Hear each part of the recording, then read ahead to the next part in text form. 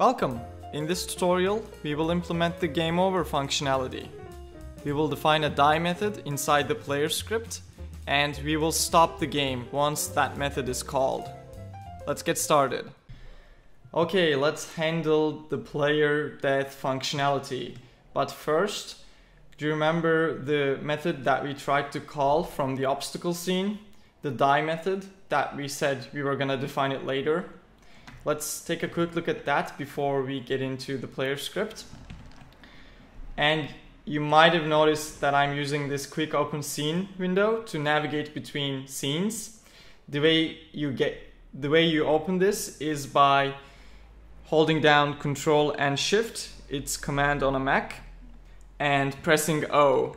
Then you get this window and from here you, you can see all the scenes in your game and if you have a ton of scenes and you don't want to look through all of them, you can just type it out here. I'm just gonna type obstacle and press enter and here I am.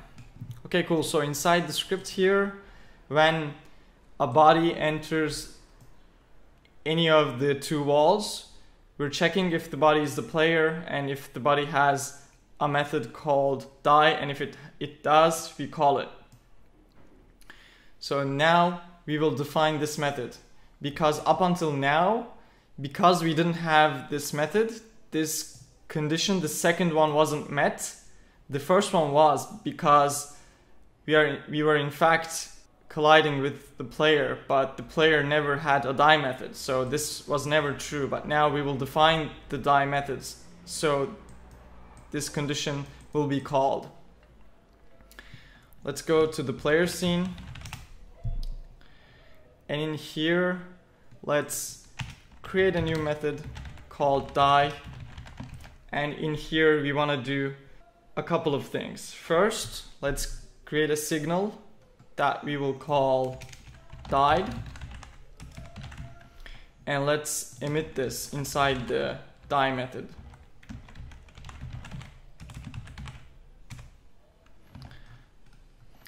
Okay, the second thing we of course want to stop animating. We don't want to keep flapping when we die. So let's get the animator and call stop. We also don't want the bird to be able to flap anymore. So let's create a variable that we will call alive and let's set it to true by default. And let's check once the player presses the flap action. Let's check if are we also alive? And if we're not, we're not gonna call flap. And inside here, we'll set alive to false. And at the start of this method, we'll check if, if we're not alive, let's return because there's no point calling a die method if we're not alive to begin with. We can also add a little print statement here to test if our die method is working or not.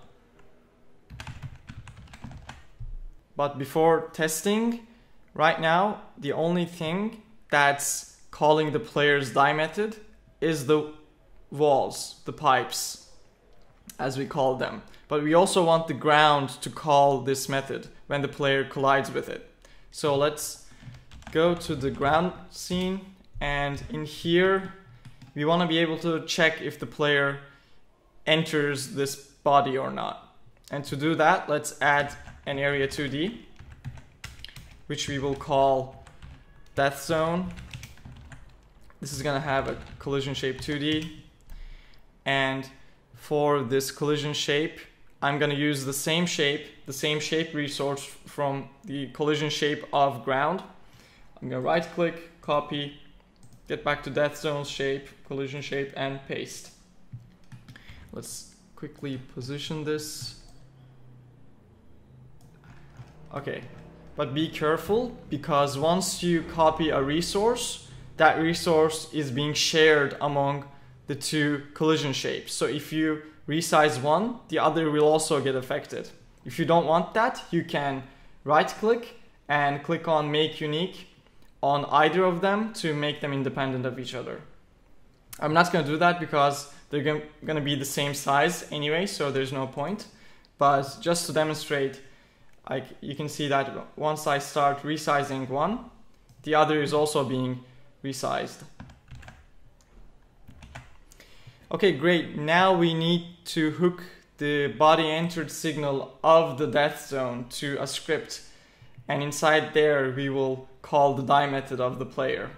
But the problem is we don't have a script on ground that we can use. And we could add a script to ground or we could also add a script to the death zone, which is also a good idea. But I'm just gonna go back to the world scene. And in here, I'm gonna turn on editable children on the ground and I'm gonna hook the body entered uh, signal to the world script. Great, and in here we'll do the same checks that we did inside the obstacle if body is player and if body dot has method die we'll call body dot die. Great, now we're correctly calling die both from the ground and the, the obstacle. Let's run the game. And if I just fall, whoops. Okay, I made a small typo there. You probably noticed it before me. Let's add a T there and let's run this again. If I just fall, I died, I can't, even if I click, I can't flap anymore and our print statement also worked, which is good. So let's get back here, let's delete.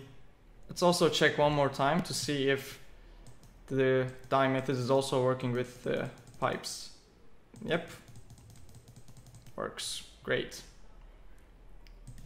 So we set alive to false and that's why we couldn't flap anymore because we're doing a check before, after we get input our animator also stopped and we emitted this signal here, which we will use later on.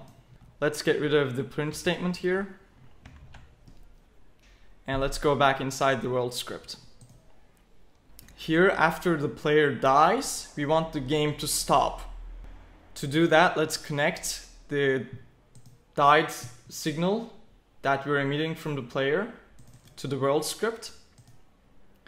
And in here, we wanna, well, we wanna first, we're gonna do a couple of things here, but first let's actually create a method called game over, just for simplicity's sake and just so that it's easier to read. Let's create a game over method and in here we'll first stop the obstacle spawner. Then we need the ground to stop as well. So we'll get the ground. Well, first let's get a reference to it.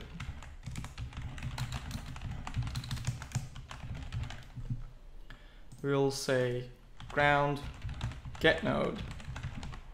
We'll get its animation player. This is a nice way you can get a node inside a scene if that scene doesn't have a script and you can't create a reference, this is a way you can use. And we'll say stop. And finally, we want the obstacles, the obstacles that are currently on the screen to stop. Because by default, as you remember, our obstacles are moving towards left. But once we die, we, we don't want them to move anymore because we want to give the impression that the game stopped. And to do that, let's go inside the obstacle scene and let's add this scene to a group that we will call obstacles. And inside the world scene, we'll use the call group method of the scene tree to call a method on a group. And in this case, the group is obstacles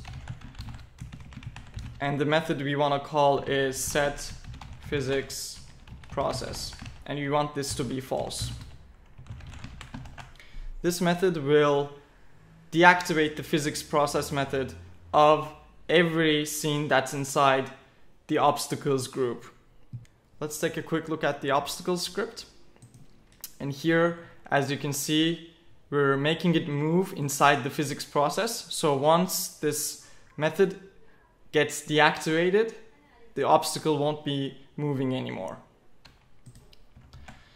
Let's run the game and see if this is working.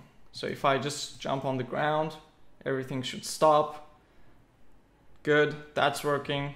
Let's also try with the, the obstacle.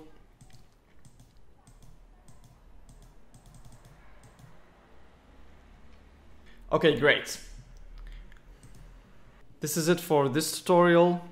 We implemented the game over functionality and in the next one we will create a menu system that we will use to display a game over menu and a simple menu before the game starts. Thank you very much for watching and I will see you in the next one.